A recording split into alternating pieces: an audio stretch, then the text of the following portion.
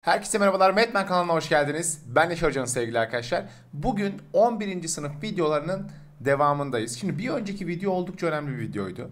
Bu videodan itibaren artık kitabımızda sakin sakin ilerleyeceğiz arkadaşlar. Buradaki örneklerin hepsini ben çözeceğim.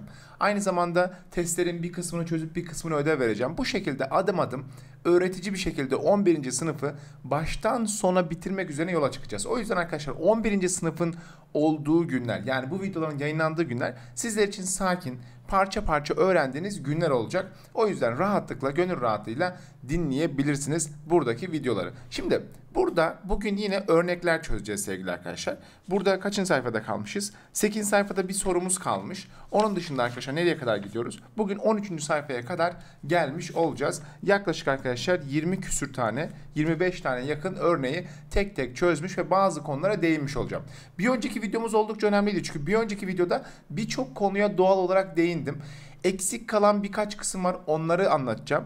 Ancak bir önceki videoda gördüğümüz her şeyi tekrar burada görüp onların pratiklerini yapmaya devam edeceğiz. Hazırsanız bu videomuzda başlayalım. Sevgili arkadaşlar videonun girişinde önemli bir şey söylemek istiyorum. Bu 8 sayfada kalan son soruyla da ilgili olacak bu. Şimdi arkadaşlar sekant ve kosekant ifadelerini tanımlamak istiyorum sevgili arkadaşlar. Şimdi biliyorsunuz ki bir önceki videoda şuradaki çizgiye x eşittir 1 doğrusunu tan diye tanımladık. Buradaki çizgiyi de kot diye tanımladık. Sevgili arkadaşlar buraya şöyle zoom yaptığımız zaman bakın arkadaşlar burada şu şekilde bakın şu uzunluk Bakın buradan çıkıyor. Bakın tanjanta değdi bu uzunluk. Şu pembe ile işaretlediğim uzunluğu bulmaya çalışalım. Şimdi burayı nasıl bulacağız? Bu bir dik üçgen içerisinde. Hemen dik üçgeni size göstereyim arkadaşlar. Dik üçgenimiz bakın şurası ve buradan oluşuyor arkadaşlar. Şöyle. Şurada bir alfa açısı varsa bakın arkadaşlar şu aşağıdaki uzunluk bu uzunluk zaten yarıçap 1. Şuradaki uzunlukta bildiğiniz üzere burası tanjant ifadesini veriyordu. O zaman burası tanjant alfa oluyor. Biz buradaki pembe uzunluğu bulmaya çalışıyoruz. Buraya x dersek bakın arkadaşlar burada bir tane dik üçgen var gördüğünüz üzere. Bu dik üçgende şimdi işlemleri yapmaya başlıyorum. Bakın tanjanta değdiği yere kadar olan o pembe kısma kadar olan yeri göstereceğim. Şimdi hemen ben burada denklemimi yazıyorum. Diyorum ki x'in karesi eşittir 1'in karesi artı tanjantın karesi diye yazabilirim burada. Tanjant alfanın karesi diye yazabiliriz burada. Şimdi ben bu işleme devam ediyorum. Şimdi tanjant nedir arkadaşlar? Sin bölü kostur. Doğru değil mi? Şöyle biraz zoom yapalım buraya. O zaman x kare eşittir. Bakın 1 artı. Şimdi bu tanjant değil. Tan kare alfa olduğu için o zaman bu da sin kare alfa bölü kos kare alfa şeklinde yazabiliriz arkadaşlar burada kısmı. Şimdi bakın burada hemen şöyle bakın bununla bunu çarpıp üst tarafa ekliyorum. Yani aslında bunun paydalarını eşliyorum. Yani bölü 1 yazıp kos kare alfa ile genişletiyorum. Yani aslında bununla bunu çarpıp üst tarafa ekliyorum. Ne oldu arkadaşlar burada? x kare eşittir. Kos kare kos kare şöyle yazalım. Kos kare alfa artı sin kare alfa bölü kos kare alfa oldu. Gördüğünüz üzere arkadaşlar bakın burada kos kare alfa sin kare alfa zaten toplamları 1 oluyordu hatırlıyorsanız. O zaman x kare dediğimiz şey 1 bölü kos kare alfa oldu. Şimdi biz bunu arkadaşlar şöyle kökün içerisine alıp bunu da kökün içine alırsak burada x çıkar. Burada da 1 bölü kos alfa çıkmış olur. Biz bunu arkadaşlar sekant alfa diyeceğiz. Bundan sonra bunun adı sekant alfa. 1 bölü kos alfa sekant alfa. Yani o zaman mantıken şöyle biraz daha geri gelelim. Bakın birim çemberin merkezinden çıkıp tanjantına değen bu kısım yani şu pembe kısma sekant alfa diyeceğiz arkadaşlar bundan sonrası için. Yani bu pembe kısım tanjanta değen yere kadar olan kısma sekant alfa diyeceğiz. Peki aynı durumda kotanjanta değseydi yani aynı soruyu şöyle sorsak. Şuraları şöyle silelim. Şöyle şöyle silerim. Şu pembeyi de siliyorum. Bakın şu tanı da siliyorum. Şuraları da siliyorum. Evet. Alfa açısı. Bu sefer biz şurada gelip şuradaki kısımda kotanjanta değdiği yer. Yani şurası. Yani bize bulmak istediğim uzunluk bakın bunu bu sefer tamamı yani kotanjanta kadar değdiği yer olsaydı. Burası olsaydı arkadaşlar. Şimdi buna ne diyecektik? Bakın tanjanta değdiğimiz yere sekant diyoruz o pembe kısma. Şimdi buradaki pembe kısma ne diyeceğiz? Yani tamamını bakın kotanjant değdiği yere kadar uzattım. Hemen arkadaşlar burada bir tane dik üçgen olduğunu görüyorum. Bakın şurada ve şurada dik kenarlar var şöyle. Arkadaşlar zaten buranın uzunluğu bir. Şu üst tarafın uzunluğu zaten kotanjant alfaydı. O zaman ben buradaki pembe kısma x dersem tamamına tabii şu, şu kısım tamam yani şuraya, şuraya x dersem ben o zaman ne oluyor? Şimdi tekrar bunu da yapalım. Bakın başlıyorum. x kare eşittir 1 artı kotanjant alfanın karesi oluyor. Şimdi bunu yine kotanjant alfa nedir? Kos bölü sindir arkadaşlar. Bunu 1 artı bu sefer kos kare alfa bölü sin kare alfa olarak açtığımı düşünelim. Şimdi bunu yaptıktan sonra bu ne? x kare eşit. Şöyle x kare eşit. Şimdi bakın arkadaşlar burada ne yapıyoruz? Şununla şunu çarpıp üzerine ekleyeceğiz. Yani ne oldu? Şöyle şuraya yazalım. x kare eşittir. Bakın sin kare alfa artı kos kare alfa bölü sin kare alfa oldu. Şimdi şurası zaten 1 etti arkadaşlar. O zaman ne oldu bu durumda? x kare eşittir 1 bölü sin kare alfa oldu. Sen gelip bunu kökün içine alıp şunu da kökün içine alırsan x eşittir 1 bölü sin alfa oldu. O da arkadaşlar kosekant alfa diye adlandıracağımız yer oldu arkadaşlar. 1 bölü sin alfa kosekant alfa demektir. O zaman gelelim şuraya. 1 bölü kos alfa sekant alfa 1 bölü sin alfa kosekant. Yani sin neyse ko'yla ko'yla ise s ile başlıyor gibi düşünebilirsiniz. Yani 1 bölüsü bu şekilde oluyor. Peki o zaman şurada gördüğümüz, şu gördüğümüz pembe kısım yani birim çemberin merkezinden başlayarak kotanjantı değdiği kadar bu yolun tamamına da biz ne oluyor arkadaşlar? Kosekant alfa diyeceğiz burada. Yani kotanjant değdiği kadar kosekant alfa, tanjantı bakın şu şuradaki mavi kısım kosekant. Bakın şuradaki şöyle şu pembe kısım bakın tanjantı değdiği yere kadar olan kısımda sekant. Şurası da sekant alfa olmuş oluyor sevgili arkadaşlar. Bu ikisini doğru anlamak ve doğru ayırt etmek bizim için oldukça önemli. Özellikle bunu videonun başında gösterdim. Şimdi hem videonun içerisinde sekant kosekant kısmı var. Bir de hani görmemize gerek kalmayacak yani. Sekant alfa 1 bölü kos, kosekant alfa 1 bölü sin. Bu şekilde açtığımızı bileceğiz. Hem de bunların uzunluk olarak görünüşlerini görmüş olacağız arkadaşlar. Neden bunu anlattım? Çünkü direkt başlar başlamaz ilk sorumuz bununla ilgili olduğu için. Şimdi hemen 8. sayfada kalan son sorudan başlayalım arkadaşlar. 13. sayfaya kadar şöyle adım adım soruları çözerek birlikte gidelim. Evet sevgili arkadaşlar sorumuz bu. Diyor ki yukarıdaki birim çemberde alfa olmak üzere BC nedir diyor. Şimdi arkadaşlar oldukça kolay bir soru. Neden? Çünkü biz biz arkadaşlar şurada birim çember az önce gördüm. Birim çemberin merkezinden başlayıp bakın şurada gördüğünüz şey kotanjant. Bakın şu kotanjant. Zaten şu gördüğünüz şey var ya şurası. Şu kotanjanta değdiği yere kadar olan kısma yani şu pembe ile şöyle taradığım kısma ne diyorduk arkadaşlar? Ko sekant alfa diyorduk. Doğru değil mi? E sana BC arasını soruyor. Yani şu şuradaki mavi yeri soruyor. O zaman arkadaşlar şurada kırmızı yeri çıkarmam gerekiyor. Kırmızı yer ne? Yarı çap arkadaşlar kırmızı yer. Bakın şuraya kadar gelene kadar. Burası 1. Yani kosekant alfa eksi 1 oluyor arkadaşlar. Şu geri doğru gelelim. Kosekant alfa eksi 1 oluyor. Cevabımız Bursa oluyor. Bakın bildikten sonra oldukça rahat bir soru oluyor burada kısım. Şimdi gelelim şuraya.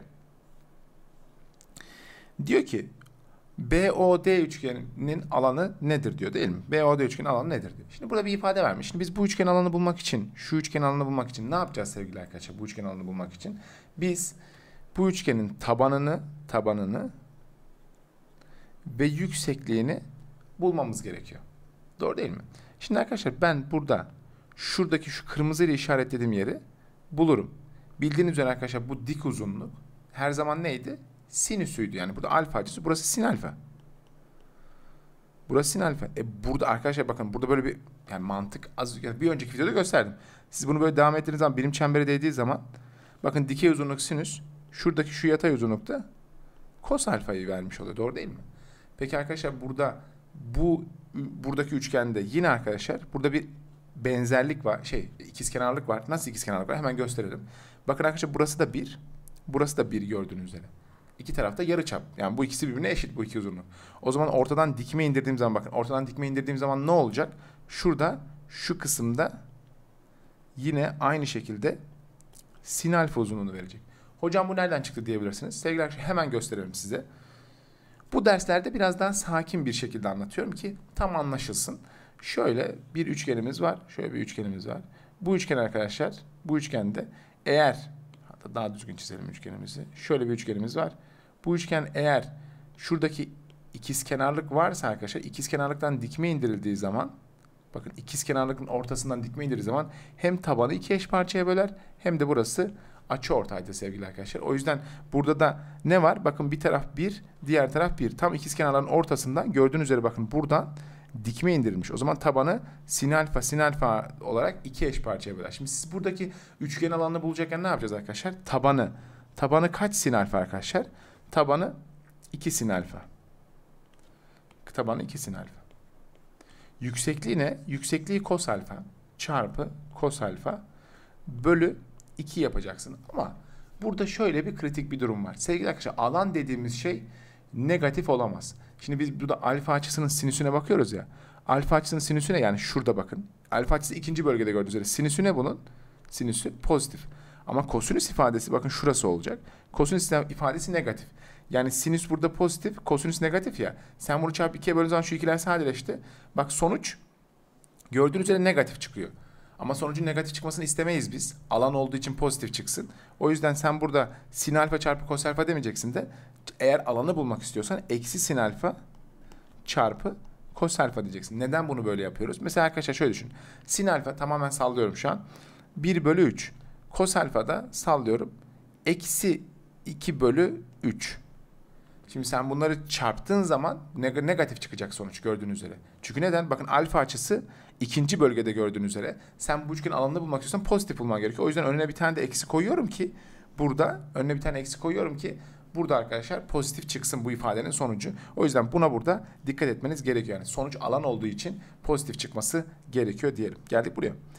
Şimdi diyor ki AB bölü AO diyor. AB bölü AO ifadesi hangisinin de hangisidir diye bize sormuş. Şimdi bakalım arkadaşlar.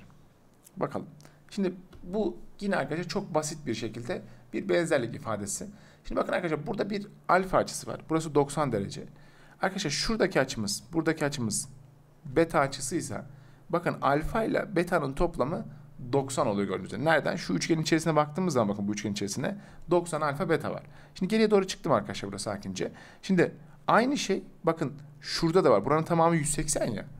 E 90 zaten burada var. O zaman burası beta ise şurası alfa açısı olmuş olur gördüğünüz üzere. Burası yine alfa açısı olacak. Çünkü neden? Alfa ile beta'nın toplamı 90 ya. Şu az önceki üçgenden kanıtladım. E arada da bir 90 var. Toplamı 180 olacağına göre o kısım alfa olması gerekiyor. Peki biz böyle durumlarda yani alfanın karşısı neydi arkadaşlar? Direkt şurası. Burası sin alfa. Ya alfanın şuradaki zemini neydi? Burası kos alfa gördüğünüz üzere. Doğrudan bunu yapabiliriz. Bakın dikkat edin. Alfa şuranın tamamı değil. Şuranın tamamı değil. Alfa şurası. Ama fark edin zaten böyle durumda birim çember içinde bu şekilde kaldığı zaman karşı sin alfa tabana da yani yakın dik kenarı da kos alfa. O zaman bana AB'yi OA'ya böl demiş. Sin alfa bölü kos alfa. Yani sin alfa bölü kos alfa. Yani bu ne demek arkadaşlar? Bu tanjant alfa demek. Hemen şöyle geri doğru gittim. Tanjant alfa cevabını gönül rahatlığıyla işaretleyebilmiş oluyorum arkadaşlar. Bu şekilde olayı hallettim. Şimdi gelelim buraya. Burada bir tane üçgen var arkadaşlar. Üçgenin trigonometrik oranlarını vermiş. Ya sinüs ne demek? Kosinüs ne demek? Tanjant ne demek? Kotanjant ne demek? Sekant ve kosekantı böyle bilmenize gerek yok arkadaşlar bunları. Sekantı 1 bölü kos, kosekantı da 1 bölü sin diye bilseniz bizim için yeterli. Şimdi arkadaşlar sinüs karşı dik kenar bölü hipotenüs. Kosinüs komşu dik kenar bölü hipotenüs. Tanjant karşı dik kenar bölü komşu dik kenar. Kotanjant komşu dik kenar bölü karşı dik kenar. Ki bir önceki videoda çok detaylı bir şekilde konusu geçti. Konuştuk buradaki kısmı. Şimdi gelelim şuraya. Bakın bu tarz şeyler oldukça önemli.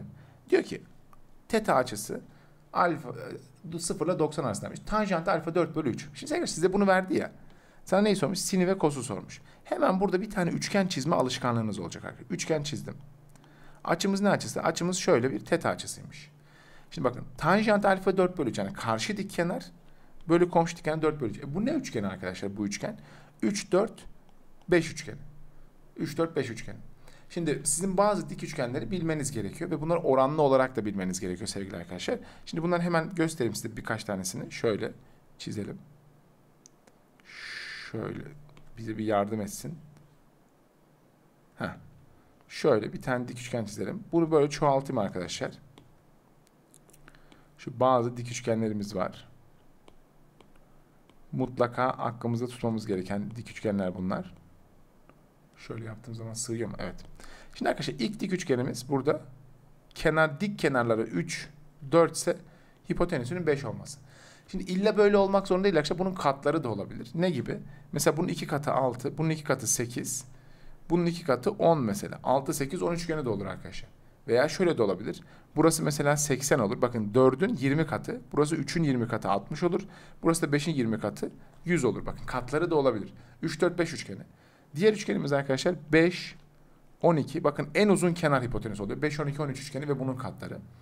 Diğer üçgenimiz arkadaşlar 8, 15, 17 üçgeni. Yine bunun katları. Diğer üçgenimiz 7, 24, 25 üçgeni. Bunlar ve bunların katları. Yani şöyle de geliyor. 48 olur burası. Burası 7'nin iki katı 14 olur. Burası 25'in iki katı 50 de olabilir arkadaşlar. Şimdi burada 3 4 3 4 5 üçgeni var gördüğünüz üzere. E bana demiş ki sin teta. Şimdi teta'nın olduğu yerde sinüsü bulacağız. Sinüs neydi arkadaşlar? Karşı dik kenar bölü hipotenüs. Bakın gördüğünüz üzere 4 bölü 5. Kosinüsü bul diyor. Bulalım arkadaşlar kosinüsü. Kosinüs de şöyle gelelim. Bakın komşu dik kenar bölü hipotenüs. Yani komşusu 3 bölü 5. Bakın doğru. Şimdi ne diyor bana? Sekantı ve kosekantı. Arkadaşlar sekant zaten ne demek? 1 bölü kos demek. Yani bu 3, 3 bölü 5'te bu 5 bölü 3. Şimdi kosekant da 1 bölü sin demek. Sinüs 4 bölü 5'te bu da gördüğünüz üzere 5 bölü 4. Diyor ki tanjant 4 bölü 3. Arkadaşlar tanjant 4 bölü 3'te kotanjant da komşu dikkenar bölü karşı dikkenar. O da 3 bölü 4. Yani tanjantın tam tersi kotanjant olmuş oluyor. Yani takla atmış hali kotanjant gelmiş oluyor sevgili arkadaşlar. Bu şekilde bu soruyu da çözebiliriz. Şimdi gelelim bir sonraki sorumuza.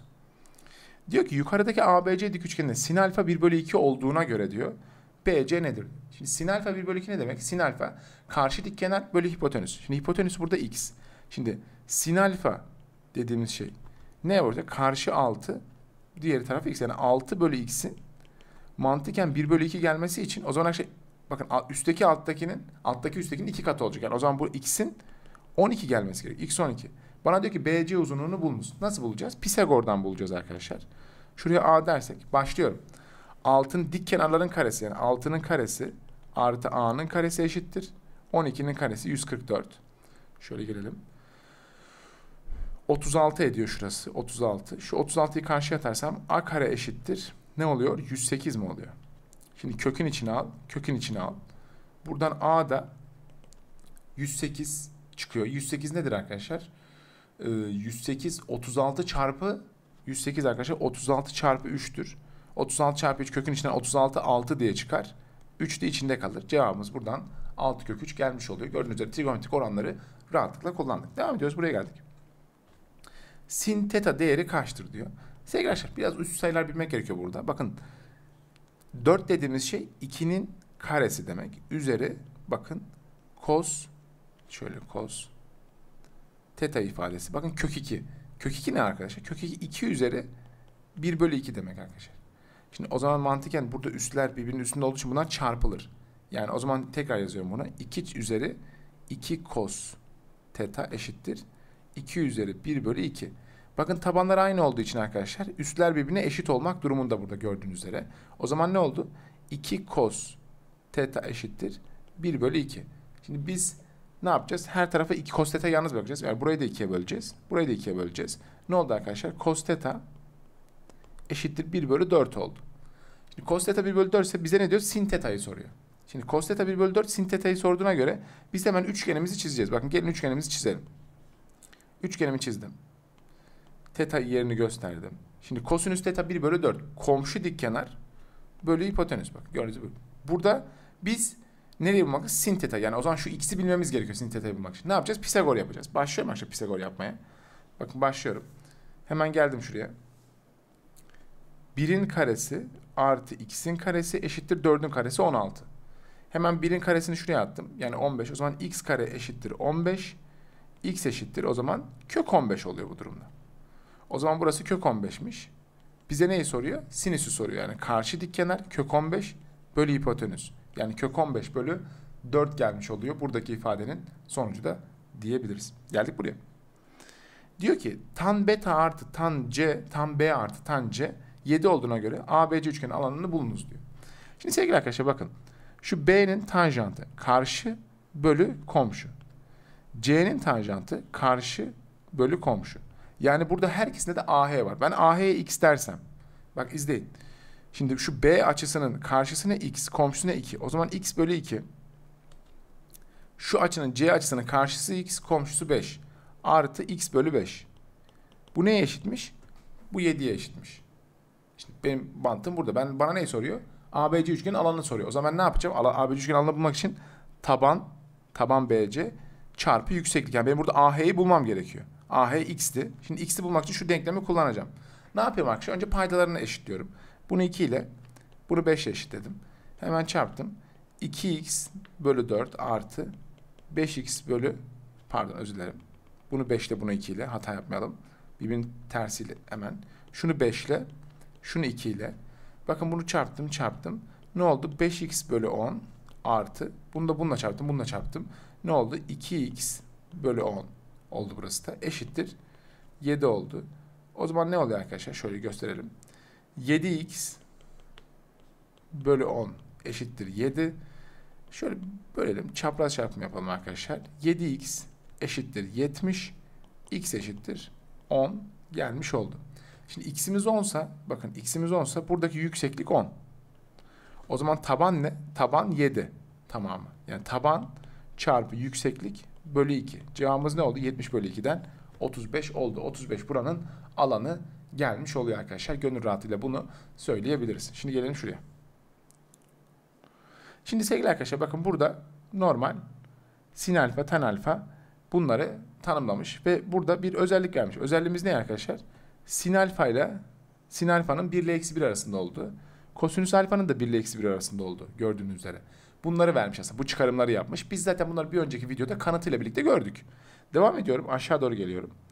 Tanjantı tanımlamış burada. Tanjant ve kotanjantın çizgilerini göstermiş. Biz biliyoruz. X eşittir 1 doğrusu tanjant, Y eşittir 1 doğrusu kotanjant arkadaşlar burada kısımda. Şimdi hemen tanjant ve kotanjantın artı sonsuzla eksi sonsuz arasında olduğunu yine arkadaşlar biliyoruz. Çünkü sonsuza kadar uzayabiliyordu oradaki uzunluk. Şimdi gelelim devam edelim. Bakın bunları tanımladığı yerler. Sekant ve kosekant.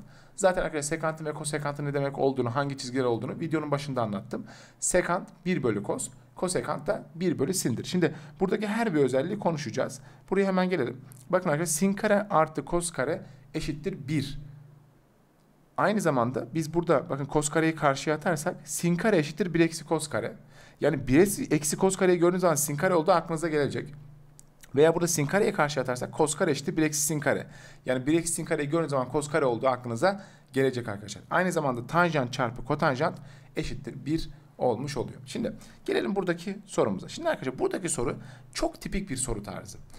Şimdi bu tipik soru tarzındaki mantık şu şekilde işliyor arkadaşlar.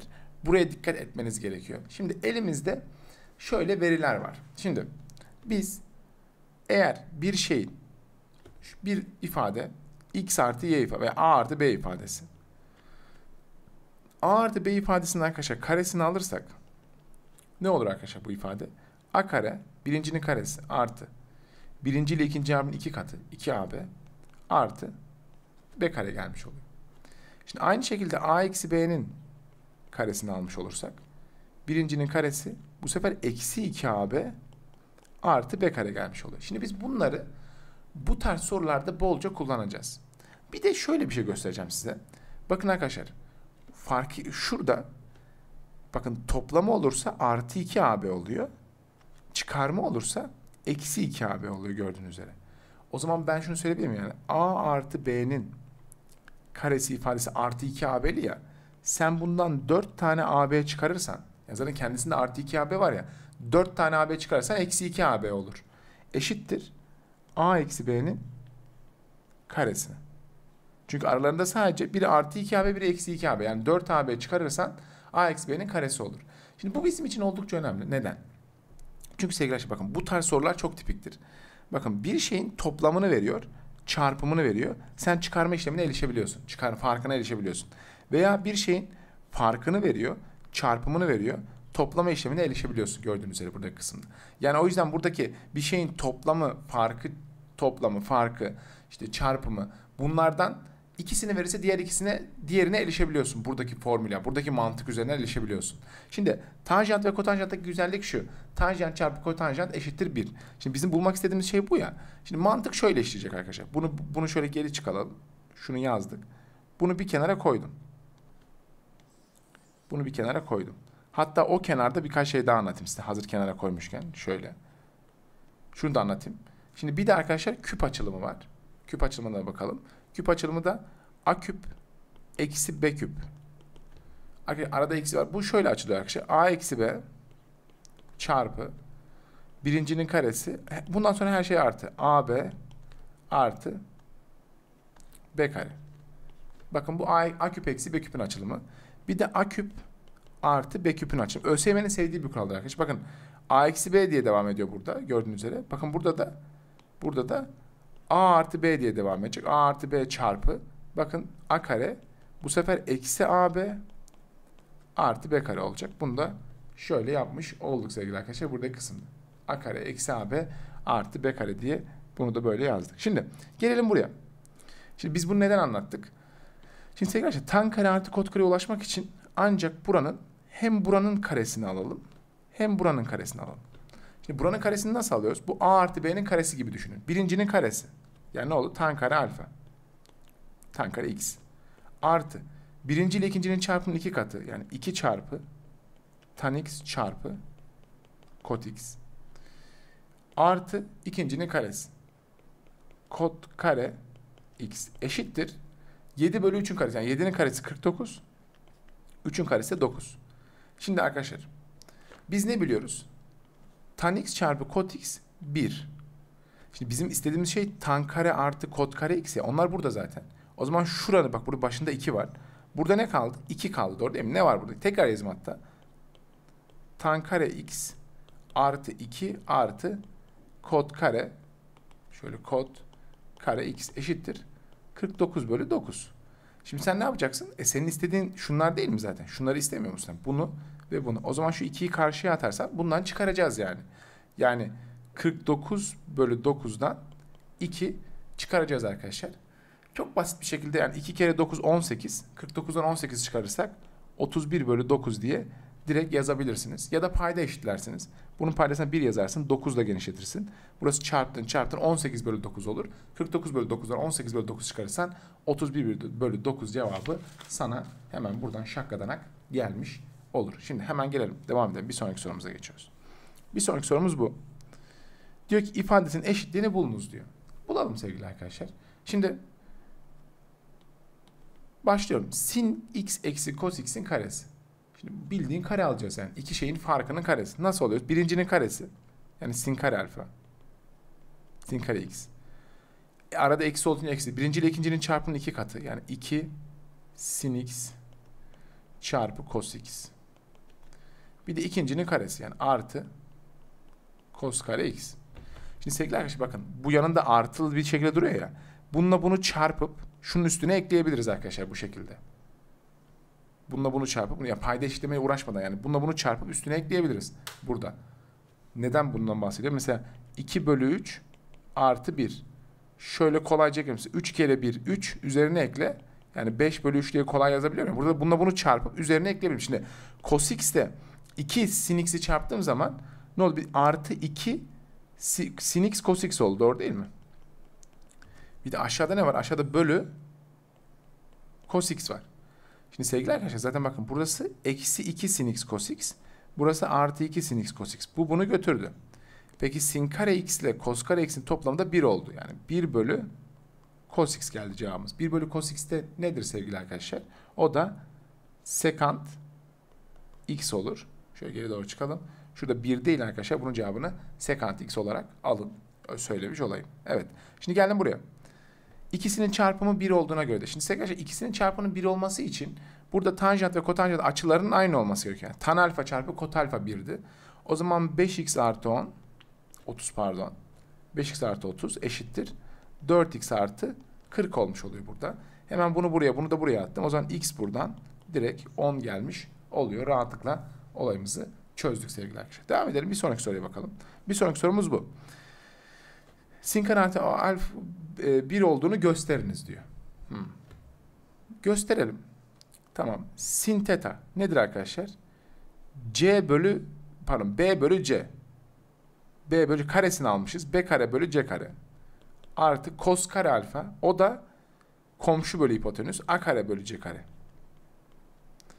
Şimdi bunun sonucu ne geldi arkadaşlar? Yukarısı. B kare artı A kare bölü C kare geldi.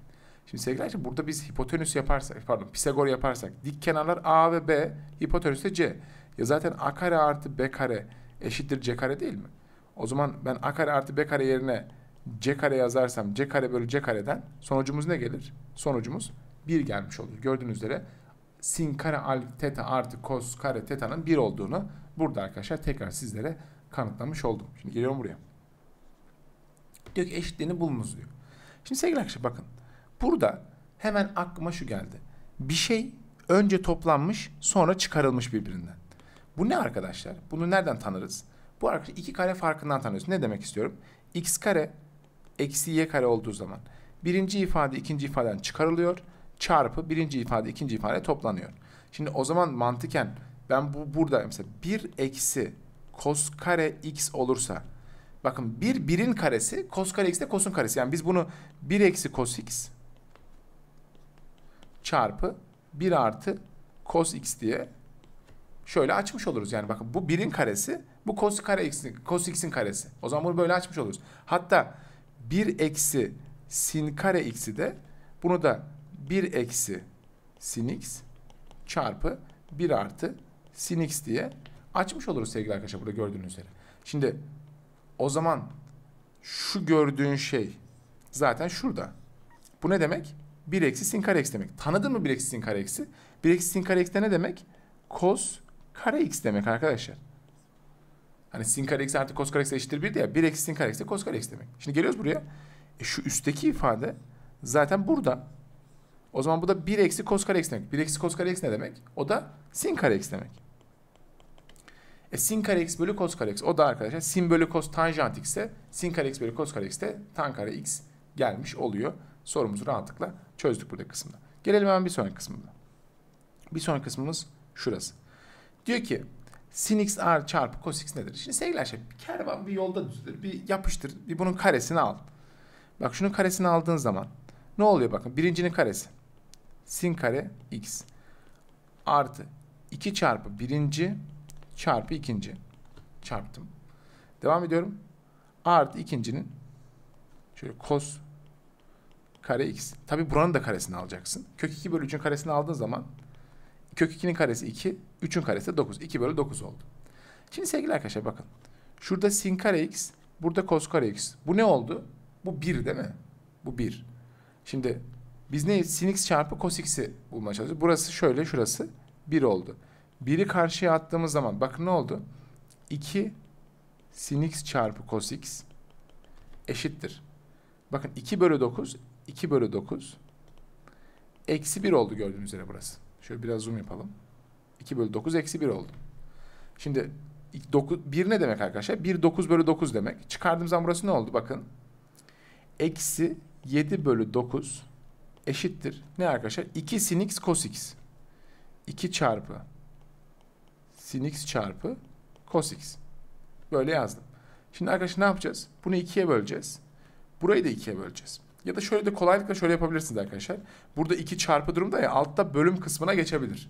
Şöyle yani direkt bize sin x çarpı cos x soruyordu. Yani sin x çarpı cos x ifadesi eksi 7 bölü 18 ifadesi gelmiş oluyor. Buradan da şakadanak bulmuş olduk arkadaşlar bunu.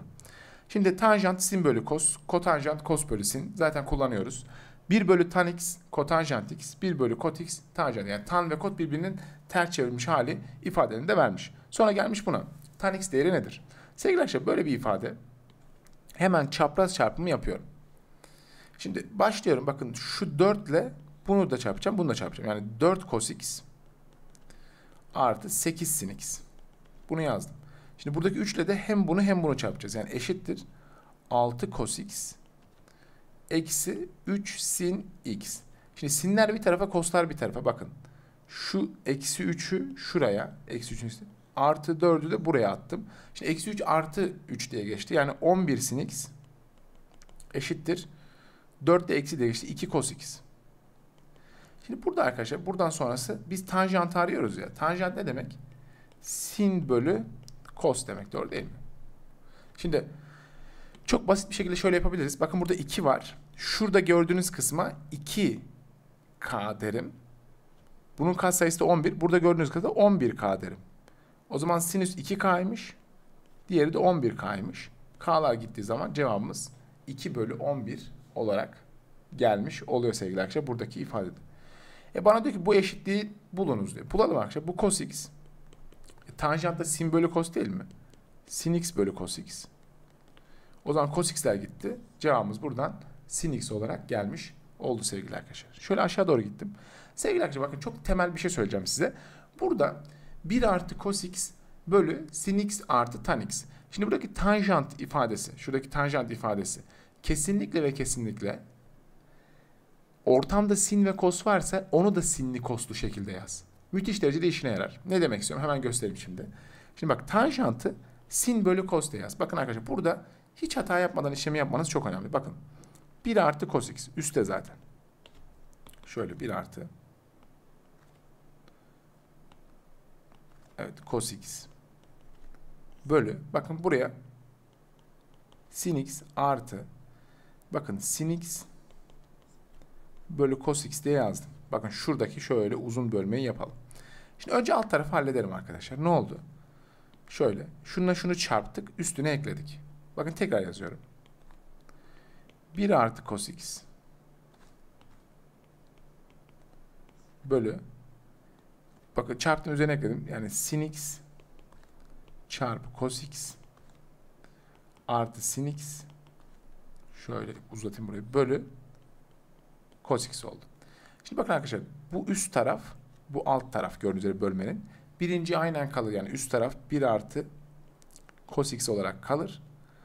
Alttaki yuvarlak şanlı ters çeviri çarpılır. Yani cos x bölü sin x çarpı cos x artı sin x. Böyle yazdım. Şimdi sevgili arkadaşlar bakın burada burada hemen şunu diyeceğiz. Bakın sin x çarpı cos x artı sin x ya. Şimdi benim burada bir götürme işlemi yapmam gerekiyor. Şöyle yapacağım. Bakın arkadaşlar. Burada da sin x var. Burada da sin x var. Bunu sin x parantezine alacağım. Bakın aldığım zaman şöyle bir görüntü olacak. Bakın sin x parantezinde. Burada ne kaldı? Cos x. Arada ne var? Arada artı. E sen bunu da komple çektiğin için burada ne kaldı? Artı. Şöyle artı. 1 kalmış oldu. Şimdi bakın arkadaşlar buna çarpma işleminde bakın dikkat edin. Şurası da 1 artı cos x. Burası da 1 artı cos. Bunlar birbirini götürüyor. Geriye ne kaldı? Cos bölü sin kalmış oluyor. Yani cevabımız kotanjant x gelmiş oluyor sevgili arkadaşlar. Buradaki ifadenin sonucu da. Şimdi devam edelim. Geldim buraya. Tan x artı kot x 10 ise sin x artı cos x kaçtır diye bize sormuş sevgili arkadaşlar. Şimdi bakın tanjant ve kotanjantlı bir ifade var. Sin artı coslu bir ifade var. O zaman sen bunları bir açacaksın. Hemen açalım. Tanjant dediğimiz şey sin x bölü cos x. Kotanjant dediğimiz şey de cos x bölü sin x. Şimdi biz bunların paydalarını eşitleyeceğiz. Yani bunu o zaman sin x ile genişleteceğiz. Bunu da cos x ile genişleteceğiz. Şimdi bakın şuna şunu çarptım. Sin kare x oldu. Şuna şunu çarptım. Şöyle şöyle oluyor yani arkadaşlar. Bunu da bununla çarptım. Cos kare x oldu. Yani üst taraf şöyle oldu arkadaşlar. Sin kare x artı cos kare x bölü sin x çarpı cos x. Buraya kadar geldim. Şimdi sevgili arkadaşlar şu gördüğünüz ifadede bu gördüğünüz ifadede şurası zaten 1 değil mi? O zaman tekrar şöyle yazalım. Bakın 1 bölü sin x çarpı cos x cos x eşittir 10'muş arkadaşlar. Direkt 10'du zaten bu cevap. Peki o zaman sin x çarpı cos x de 1 bölü 10 olmaz mı yani? O zaman tam ya bunu takla attıracaksın. Şuna takla attıracaksın. Yani o zaman sin x çarpı cos x eşittir 1 bölü 10 olur. Şimdi ben bunu cebe attım. Şimdi benden ne istiyor? Benden bunu istiyor sevgili arkadaşlar. Sin x artı cos x istiyor. Şimdi bende ne var? Sin x çarpı cos x ifadesi var. O zaman ne yapıyorum? Benden şunu istiyor ya. Bunun bunun karesini alıyorum. Bunun karesi ne eder? Bakın. Sin kare x artı 2 çarpı sin x çarpı cos x artı cos kare x. Doğru değil mi? Şimdi arkadaşlar sin kare x ile cos kare x'in toplamı zaten 1. E bir de burada 2 çarpı sin x çarpı e, sin x çarpı cos x de nedir? 1 bölü 10. Yani aslında 2 çarpı 1 bölü 10. Yani burası ne oldu? 1 bölü 5 geliyor. Yani o zaman şu ikisi 1 geldi. Şurası da 1 bölü 5 geldi. Yani ne oldu bu durumda? Şöyle çarptım üzerine ekledim. 6 bölü 5. 6 bölü 5 ne ama? Şunun karesi. O zaman bunu arkadaşlar kökün içine aldığım zaman da kök 6 bölü 5'te bunun kendisi olmuş olacak. Tabi bir ifadeyi kökün içine aldığımız zaman çıkan değer artı da olabilir, eksi de olabilir. Bunu mutlak değer konusunda detaylı bir şekilde anlatıyorum. Yani şu önemli, onu söyleyeyim. Bakın burada 6 bölü 5'i şöyle kökün içerisine aldık. Buradaki ifade de, şuradaki ifade dışarı bakın ikisi de yani hem artılı hem eksi. Yani aslında şöyle düşünebilirsiniz arkadaşlar burada kısımda. Yani şöyle diyeyim size. Mesela bir a ifadesi var. Bu a ifadesi veya bir a kare ifadesi var. Sen bunu geldin kökün içine aldın. Burada kısımda. Şimdi burası a mutlak değerde çıkar. Yani artı a da olabilir, eksi a da olabilir. Sebebi şu. Sebebi şu. Bu a kare ifadesi bakın şöyle göstereyim. Mesela eksi 2'nin karesini de kökün içine alsan sonuç 2 çıkar. Artı 2'nin karesini de alsan sonuç 2 diye çıkar.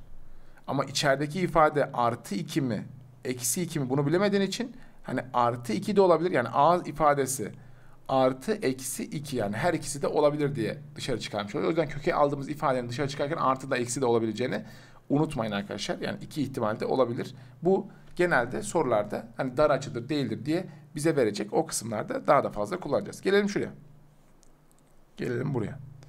Diyor ki böyle vermiş bir küp açılımı vermiş. A küp eksi B küp nedir diye bize sormuş. Çözelim arkadaşlar. Hemen rahatlıkla çözelim. Şimdi A eksi B 6 demiş. A küp eksi B küp. Şimdi A küp eksi B küpün açılımına bakalım. A eksi B çarpı A kare artı AB artı B kare. Şimdi A eksi B zaten 6'ymış. Şimdi bizim bunu bulmamız gerekiyor. Şimdi A çarpı B dediğimiz şey tan çarpı kod değil mi? Bu da 1. O zaman bizim A kare artı B kare yani tan kare artı kod kareyi bulmamız gerekiyor. Oldukça basit. Nasıl basit arkadaşlar? Bakın biz bu işlemin sonucunu arıyoruz. Bize bakın A eksi B'yi biliyoruz. A çarpı B'yi de biliyoruz. A kare artı B kare gerekiyor bize. Bunu çok basit bir şekilde bulacağız arkadaşlar şimdi. Bakın A eksi B eşittir 6. Yani A eksi B demek ne demek? Tan x eksi kod x eşittir 6. Şimdi gelip ben şunun karesini alıp bunun da karesini aldığım zaman ne oldu arkadaşlar? Tan kare x eksi 2 çarpı tan x çarpı kot x. Ama yazmama gerek yok. 2 diye yazabilirim artık. Tan x çarpı kot x 1 artı kot kare x burada. Bunun sonucu ne geldi arkadaşlar? 36 geldi gördüğünüz üzere. Şimdi ben bu 2'yi buraya atarsam ne oldu? O zaman tan kare x artı kot kare x eşittir 38 oldu. O zaman bak şu a kare artı b kare de 38'miş. E bir de burada bir tane 1 vardı. O zaman şuranın tamamı yani şurası 39 oluyor. Yani 39 çarpı 6'dan da cevabımız arkadaşlar 234 gelmiş oldu arkadaşlar. Hızlı bir şekilde bulduk buradaki kısmı. Geldim buraya. Bunu bul diyor. Cos x değerini bul diyor. Bulalım sevgili arkadaşlar. Bir kere ortamda kotanjantı, kotanjantı, sin ve kos varsa kotanjantı ve tanjantı sin bölü kos veya kos bölü sin diye açacağız. Şimdi başlıyorum. 1 artı cos x çarpı kotanjant ne arkadaşlar? Cos alfa cos x bölü sin x. Şimdi burada şuraya, şuraya önemseyelim. Bakın burası 1 eksi cos x var ya şurada. Çarpı 1 eksi cos x. Şimdi altta bölü tan x var. Şimdi bölü tan x yani aslında burada ne var aslında? Şöyle yazabiliriz bunu bakın. Şöyle böyle yazsak aynı şey değil mi? Şöyle yazsak. 1 eksi cos x çarpı 1 bölü tan x. Yani altına direkt geliyor zaten tan x. Peki 1 bölü tan x dediğimiz şey de aynı zamanda kotanjant x demek değil midir? Bunu da şöyle siliyorum. Bu da arkadaşlar çarpı. Bu da kotanjant. Kotanjant x demek. Yani cos x bölü sin x demek. Buraya kadar okeyiz. Şimdi bir kere 1 artı cos x ile 1 eksi cos x'i çarparsam ne olur arkadaşlar? 1 eksi cos kare x olur. Az önce gördük. O da sin kare x olur. Yani şu ikisinin çarpımı şuraya şöyle çarp bunları siliyorum. Sin kare x diye yazabilirim arkadaşlar. Şimdi sin kare x ya. Bu sin kare x buradaki sin x de buradaki sin x'i götürür mü? Bunlar aşağıda olduğu için. Götürür. Geriye ne kaldı? Geriye cos kare x kaldı. Geriye cos kare x kaldı. Cos kare x ne arkadaşlar? 4 bölü 9. Şimdi o zaman ben burada bunu kökün içine alacağım. Bunu da kökün içine alacağım. O zaman cos x ne olacak? Bakın 4 bölü 9 ne eder? Bakın 4 2 diye çıkar. Diğeri, bakın artı 2 bölü 3 veya eksi 2 bölü 3 olması gerekiyor. Ama neden artı 2 bölü 3 çıktı? Çünkü x bir dar açı. Yani 0 ile 90 arasında. O yüzden şuradaki x 0 ile 90 arasındaysa kosinüs ne eder? kosinüs pozitif gelir. O yüzden 2 bölü 3 diye çat diye buradaki ifadeyi çıkarmış olduk sevgili arkadaşlar. Devam edelim.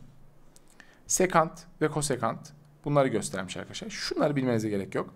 Sekant 1 bölü kos alfa, kosekant 1 bölü sin alfa diye şöyle hemen yazdım. Şimdi diyor ki bana sekant eksi kosekant nedir? Şimdi arkadaşlar sekant dediğimiz şey kosekant dediğimiz şey 1 bölü sin demek zaten. O zaman sin 3 5 bölü 13 ise bu 13 bölü 5 demek. Burası. Şimdi devam ediyoruz. Sekant da 1 bölü kos demek ya. Şimdi sen sinüsünü biliyorsun, kosinüsünü biliyorsun. Gelin kosinüsünü de bulalım bunu. Bakın açımız şöyle şurada teta açısı. Sinüsü neymiş? Karşısı 5, hipotenüsü 13. O zaman komşusu da 12. Şimdi bu teta açısının kosinüsü ne olur arkadaşlar? Kosinüs 12 bölü 13 olur ya. Bu da 1 bölü kosinüs olduğu için 13 bölü 12 eksi 13 bölü 5 etmiş oluyor. Şimdi bunların paydalarını eşitleyeceğiz. Şunu 5 ile, şunu 12 ile genişletiyorum. 5 ile 13 çarptım 65. Şuna şunu çarptım 156 yani 65 eksi 156 bölü 12 çarpı hatta payda da 60. O da eksi 91 bölü 60 gelmiş oluyor cevabımız buradaki kısımda. Geldik buna. Olduğunu gösteriniz diyor. Gösterelim arkadaşlar. Şimdi 1 artı kotanjant ne demek arkadaşlar? Kos kare x bölü sin kare x. Şimdi bakın bununla bunu çarpıp üstüne eklediğim zaman ne oldu? Yukarısı bakın sin kare x artı kos kare x bölü alt tarafta sin kare x oldu. Yani şurası ne demek oldu şurası? Şurası 1 oldu yani 1 bölü sin kare x eşittir. Arkadaşlar kosekant da zaten 1 bölü sin karesi var. O zaman sin kare x olmuyor. Bakın bu ikisi gördüğünüz üzere birbirine eşit oldu. Buradaki ifadede rahatlıkla sorumuzu çözebilmiş olduk. Gelelim hemen bir sonrakine. Hemen bir sonraki kısma geliyoruz. Şu üstteki kısma, Aa, biz bunu çözdük mü? Yok çözdük. Üstten gelmiş. O zaman tamam. Tan x eksi kot x sekant kosekant diye vermiş. Şöyle hemen şunu büyük silgimizi alalım. Şuraları bir temizleyelim. Başlıyoruz. Şimdi sevgili arkadaşlar bunların hepsini açacağız. Başka çaremiz yok. Tan x eksi kot x yani ne olacak? Sin x bölü cos x eksi cos x bölü sin x. Şimdi ne yapıyoruz? Şurada cos x'i bunu sinle genişletiyorum. Bak önce üst taraf yapıyorum. Bunu da cos'la genişletiyorum. Ne oldu? Bakın burası sin kare x, burası da cos kare x. O zaman üst taraf ne oldu arkadaşlar?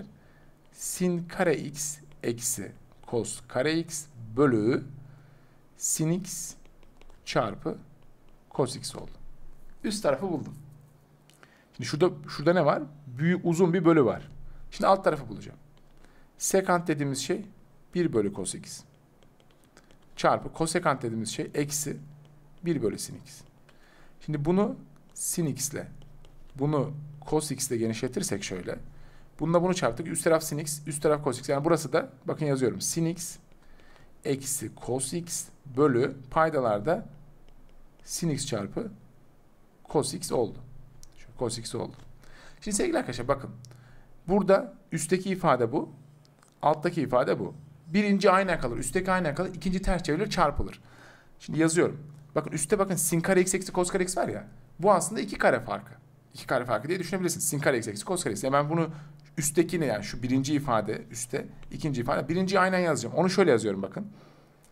Sin x eksi cos x şöyle çarpı sin x artı cos x diye açıyorum. Bölü ne geldi arkadaşlar? Sin x çarpı cos x. Şimdi ikinci ifadeyi ters çevirip çarpacağım. Yani çarpı, bakın ona da sin x çarpı cos x bölü, bu da sin x eksi cos x. Ne oldu? Bakın bu bunu götürdü. Şu da şunu götürdü. Geriye sin x artı cos x kaldı. Cevabımız sin x artı cos x oluyor buradaki ifadenin sonucunda. Gelelim buraya. İfadesinin eşitliğini bulunuz diyor. E ne yapacağız? Birbiri paydasını eşitleyeceğiz. O zaman bunu 1 eksi sin teta ile bunu 1 artı sin teta ile çarptım. Şimdi arkadaşlar 1 eksi sin teta ile 1 artı sin teta'nın çarpımı 1 eksi sin kare teta olur. O da cos kare teta olur. Yani o zaman şu ikilinin çarpım paydalar cos kare teta olacak. Şimdi üstte şunu üste yazdım. Bak üstte 1 eksi sin teta bölü cos kare teta mı oluyor? Aynen cos kare teta artı şunda da şunu çarptım. Burada 1 artı sin teta bölü Kos kare teta oldu. Şimdi bu durumda şu bir, şu sin, şu sini götürdü. Üst taraf ne oldu? 2 bölü kos kare teta oldu. Bunu ben şöyle yazabilirim değil mi arkadaşlar? 2 çarpı 1 bölü kos kare teta. 1 bölü kos teta ne der? Sekant teta eder. O zaman 2 şey 1 bölü kos kare teta sekant kare teta eder. Yani o zaman şöyle şunun yerine şunun yerine gelip sekant kare teta diyebiliriz. O zaman 2 çarpı sekant kare teta gelmiş oluyor buradaki ifadenin sonucu da. Geldik buradaki bugünün son sorusuna. Sevgili bayağı soru çözdük. Vallahi sakin sakin anlattım. E, bunlar kolay sorular değil arkadaşlar. Yani kolay sorular değil ama öğretici sorular ama yani burada bir sürü hamle yapıyoruz. Bu hamleleri tekrar tekrar yapmamız ve öğretmemiz oldukça önemli. Geldik buna. Tan x çarpı sin x. Tan x ne? Sin x. Bu ne? Sin x bölü cos x ya. Sen bunu çarptığın zaman ne oldu? Sin kare x oldu. Yazıyorum bakın. Sin kare x bölü cos x. Şimdi kotanjantta cos bölü sin ya. Sinleri çarp. O zaman eksi cos kare x bölü sin x oldu. Üst tarafı buldum. Şimdi bunların paydalarını gördüğünüz üzere eşitliyoruz. Şuraya böyle sin x yazdım. Şuraya da şöyle cos x yazdım. Bakın şununla şunu çarptım. Buna da bunu çarptım. Ne oldu? Bakın üst taraf sin küp sin küp x oldu. Bakın yazıyorum. Sin küp x eksi şuna şunu çarptım. Cos küp x oldu. Şimdi paydalar da sin ile cos'un çarpımı bölü sin x çarpı cos x oldu. Şöyle cos x. Şimdi üst tarafı hallettim. Şimdi geldim alt tarafa. Alt taraf burası. Sin x artı sekant. Sekant da 1 bölü cos demek. Yazıyorum arkadaşlar bakın. Sin x artı 1 bölü cos x. Bununla bunu çarpıp üstü, üstüne ekledik. Ne oldu arkadaşlar? Şöyle bölümümüzü koyuyoruz burada. Şu bölümümüzü koyuyoruz.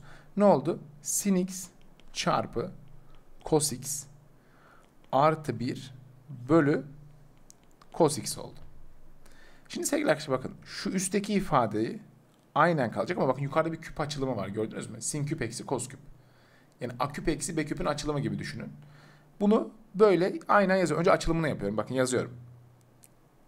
Sin x eksi cos cos x.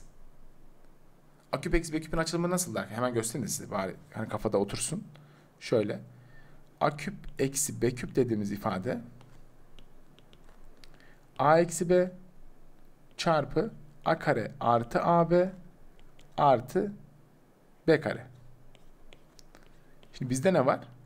Sin x'in küpü eksi cos x'in küpü.